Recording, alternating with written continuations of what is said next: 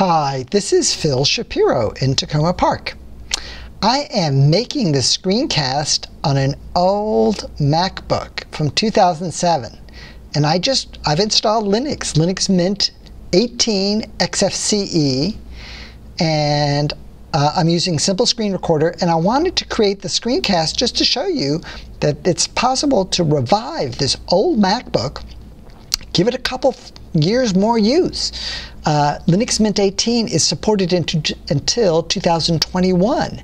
So this 2007 MacBook, it could see a couple more years of really useful life in the hands of a student, um, a refugee, a teacher, anybody. Uh, somebody that works at a hospital. So we have the latest Google Chrome, Chrome 52. Let's see how fast it runs starting up Chrome 52. Here it is. Check this out. It's booting up. Come on, Chrome. Oops, there it is. So this is Chrome 52. And um, let's go over to one of my favorite websites, opensource.com. And you can see this surfs fast because it has, uh, this computer has a Core 2 Duo processor two gigabytes of memory. So it sorts nice and fast. Um, I can use, if I want to zoom in or zoom out of the browser, I use Control minus and Control plus rather than Command minus and Command plus. So you, if you're a Macintosh user, you have to get used to using the Control key rather than the Command key when you're using Linux. Let's see what else is on this computer. Let me minimize that. Oh look, LibreOffice. Let's see how fast that starts up. Ooh, I love LibreOffice. Here it is. It's starting up and it's pretty pretty responsive. Here we are, the word processor, and this is LibreOffice, the very very current version. I'm pretty sure 5.1 or 5.5.1. So that's really quite rather current. And um,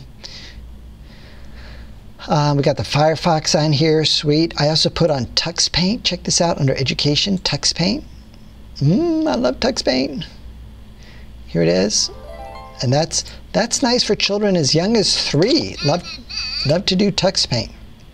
So um, while I have you here, let me just show you. If you have a story to share about your own open source journey, you can search Google for open source My Linux Story.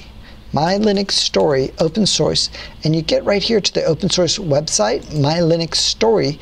And on the opensource.com website, you'll be able to see a bunch of different people's personal stories here. You can click through, they have a whole collection about how different people first came to open source.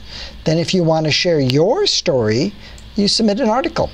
You can send it to open at opensource.com and here's all the instructions. And they love to print or publish articles about how you came to open source. Different people have different ways. You might have had a mentor, you might have read about it, you might have had your curiosity piqued at a conference. So this is Phil Shapiro. I wanted to show you just how nice this old MacBook works. Um, and I should mention I got the Wi-Fi working nicely. Um, I had to look that up on Google and I did and in, install the driver and it took about five or ten minutes to install the driver so it's a slight technical skill required there and I didn't even try getting the iSight working the built-in webcam because I have an external Logitech and I love to use my Logitech. So um, I got a little bit lazy on that, but I think there might be a way of getting that working, but that's more like an hour or two's work, um, and so I just avoided that. But anyway, Phil Shapiro over and out. Hope this is useful.